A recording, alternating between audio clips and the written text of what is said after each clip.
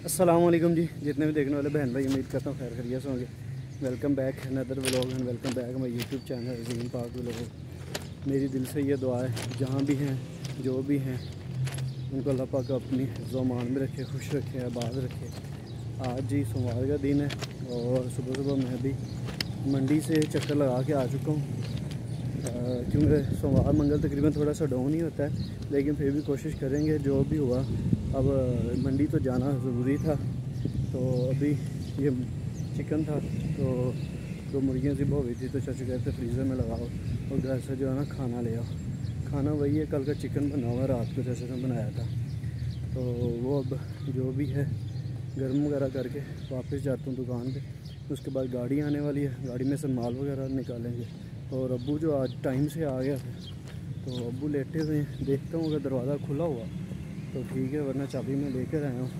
क्योंकि दरवाज़ा अक्सर किसी बंदे को कह दिया जाता है कि भाई से कुंडी लगा दो। तो वो कुंडी लगा देते हैं अंदर से को दरवाज़ा लगा खैर अबू अबू को थोड़ी सी परेशानी देनी पड़ेगी, शायद खुला ही हो।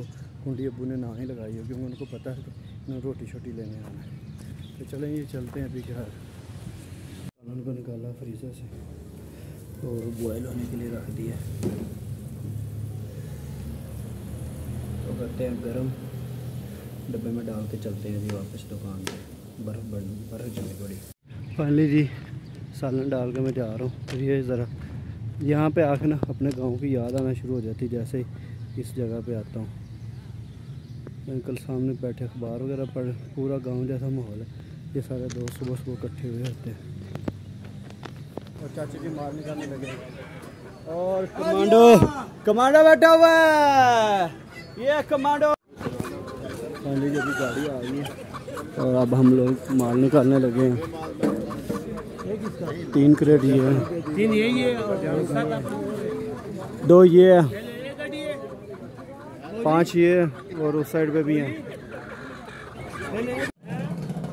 आखिर जी उस साइड से सारे जानवर निकाल लिया अब वारी उस साइड से सारे जो लगे हुए एक दो तीन चार पाँच छः सात क्रेट लगे हैं।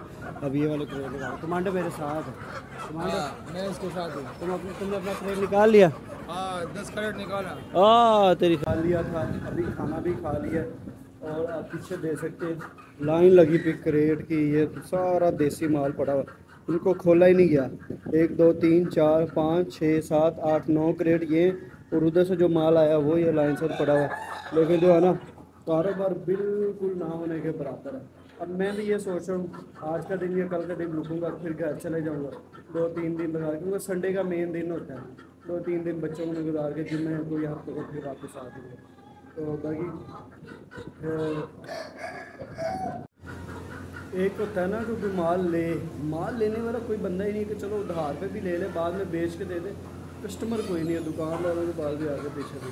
बाकी जी इंशाल्लाह आपके साथ जो भी हुआ करते रहेंगे शेयरिंग और ये देखा आखिरी गेट वो भी आ गया।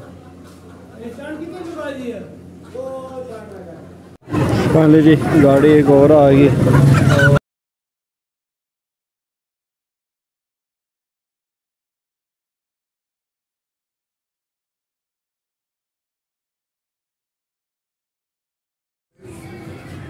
फाइनली जी अलहमदिल्ला अलहमदिल्ला अभी मुझे तकरीबन टाइम हो गया है चार बजे का। मैं सो गया था, थोड़ी देर आराम वगैरह किया। ये भाई है सामने इनकी दुकान के ऊपर चला गया था। हमारी आर्डर पे तो माल ही माल आपको पता पड़ा हुआ था तो अभी उठाऊँ और उठ के अलहमदिल्ला मैंने लिए छः जाने। तो शुक्र है, मालिक के साथ तो वो सेल हो गया। तो अल्लाह पाक ने चार पाँच सौ रुपये रोज़ी दे दी है के जी के हिसाब से लिए थे, सौ रुपये के जी के हिसाब से मैंने देख लिया बिल्कुल चूज़े थे, आपको पता मैं ज़्यादा चूज़े ही लेता हूँ, आजकल बिकते भी ज़्यादा चूज़े हैं। और चार मैंने मज़ीद ले लिए, वो सामने भी मैंने केज रखा है। ये पड़े छोटे केज में मेरे वाले। और अभी इंशाल्लाह जो नसीब में हुआ इसमें से भी रोज़ी रोटी मिल जाएगी अल्लाह का खैर करे, बस। कहते हैं ना, कोशिश करने वाला जो है ना, वो कभी भी नाकाम नहीं होता। तो कोशिश की है तो अल्लाह पाक ने रोटी देगी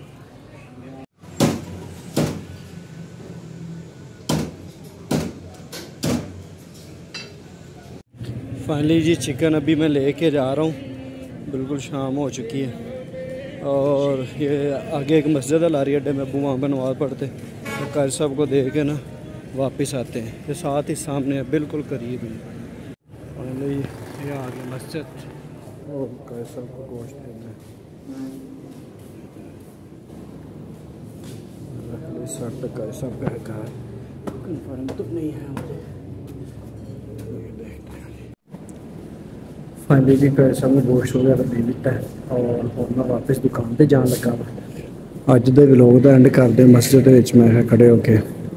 ਉਮੀਦ ਕਰਦਾ ਇਹਦਾ ਵਲੋਗ ਅੱਛਾ ਲੱਗਿਆ ਹੋਵੇਗਾ। ਅਗਰ ਅੱਛਾ ਲੱਗੇ ਤਾਂ ਵੀਡੀਓ ਜ਼ਰੂਰ ਲਾਈਕ ਕਰਨਾ ਸ਼ੇਅਰ ਵੀ ਕਰਨਾ ਦੋਸਤਾਂ ਨਾਲ ਭੈਣਾਂ ਭਾਈਆਂ ਨਾਲ। ਤੇ ਇਨਸ਼ਾਅੱਲਾ ਮਿਲਦੇ ਨੈਕਸਟ ਵੀਡੀਓ ਤੱਕ ਤੱਕ ਮੈਂ ਬਹੁਤ ਜ਼ਿਆਦਾ ਖਿਆਲ ਰੱਖਦਾ ਹਾਂ ਚਾਹੁੰਦਾ ਹਾਂ ਪਾਕਿਸਤਾਨ ਜ਼ਿੰਦਾਬਾਦ ਇਸਲਾਮ ਜ਼ਿੰਦਾਬਾਦ ਅੱਲਾਹ ਹਾਫਿਜ਼ ਅੱਲਾਹ